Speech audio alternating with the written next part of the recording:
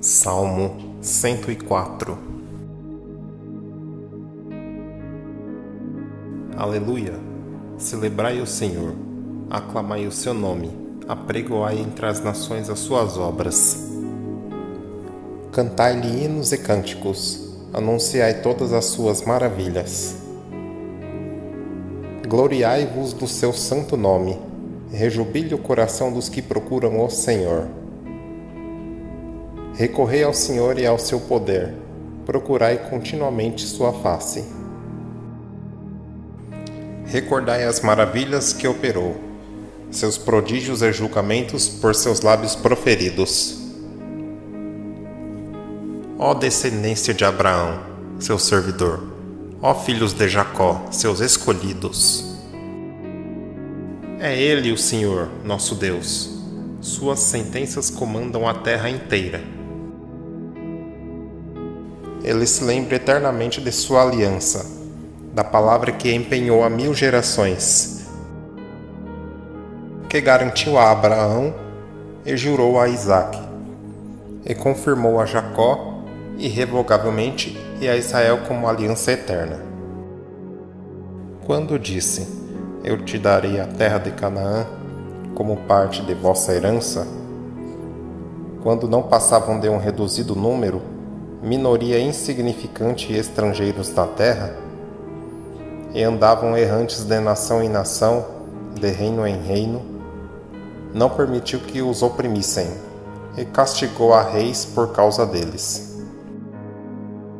Não ouseis tocar nos que me são consagrados, nem maltratar os meus profetas.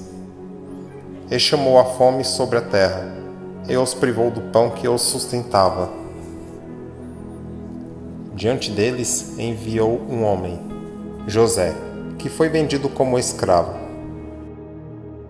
Apertaram-lhe os pés entre grilhões, com cadeias cingiram-lhe o pescoço. Até que se cumpriu a profecia e o justificou a palavra de Deus. Então o rei ordenou que o soltassem. O soberano de povos o livrou e o nomeou senhor de sua casa e governador de seus domínios. Para, a seu bel prazer, dar ordens a seus príncipes e a seus anciãos lições de sabedoria. Então Israel penetrou no Egito, Jacó foi viver na terra de Cam. Deus multiplicou grandemente o seu povo e o tornou mais forte que seus inimigos.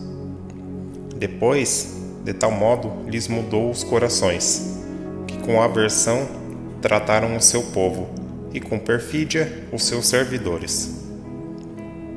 Mas Deus lhe suscitou Moisés, seu servo, e Arão, seu escolhido. Ambos operaram entre eles prodígios e milagres na terra de Cã. Mandou trevas e se fez noite. Resistiram, porém, às suas palavras Converteu-lhes as águas em sangue, matando-lhe todos os seus peixes. Infestou-lhes a terra de rãs, até nos aposentos reais. A uma palavra sua vieram nuvens de moscas, mosquitos em todo o seu território. Em vez de chuva, lhes mandou granizo e chamas devorantes sobre a terra.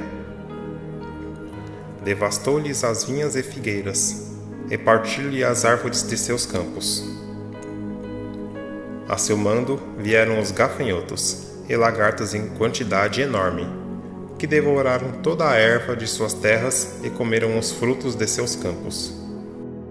Depois matou os primogênitos do seu povo, primícias de sua virilidade. E Deus tirou os hebreus carregados de ouro e prata. Não houve nas tribos nenhum enfermo. Alegaram-se os egípcios com sua partida pelo temor que os hebreus lhe tinham causado. Para abrigar Deus, estendeu uma nuvem, e para lhes iluminar a noite, uma coluna de fogo. A seu pedido, mandou-lhes codornizes, e os fartou com pão vindo do céu. Abriu o rochedo e jorrou água como um rio a correr pelo deserto, pois se lembrava da palavra sagrada, empenhada a seu servo Abraão e fez sair com júbilo o seu povo, e seus eleitos com grande exultação.